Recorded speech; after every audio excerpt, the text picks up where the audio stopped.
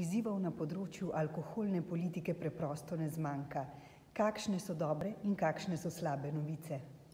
Dobre novice so, da se je v zadnjem času kar nekaj stvari zgodilo na mednarodni platformi in sicer potem, ko se je sprejela globalna strategija na ravni Svetovne zdravstvene organizacije, smo dobili občutek, da se od tega dalje nič kaj dosti ne zgodi.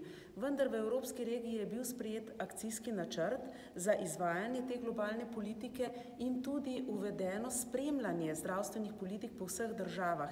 In to je pripomoglo k temu, da so države lahko dobro videle, ali so uspešne v svojih politikah na tem področju ali niso uspešne. Skratka, zunaj Evropske unije so nekatere države navkljub vsem pričakovanjem dejansko dosegle velike uspehe. Kot taka je seveda Rusija, kjer se je ravno v zadnjem času ogromno poročalo o njihovem uspehu in pomembnem zmanjšanju tako porabe alkohola kot tudi škode zaradi alkohola.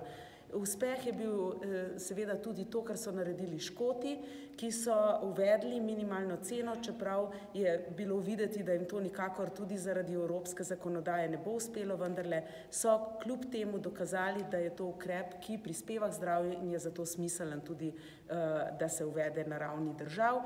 Tisto, kar pa se ni zgodilo, ni se zgodilo na ravni Evropske komisije, smo pa stopili malo nazaj.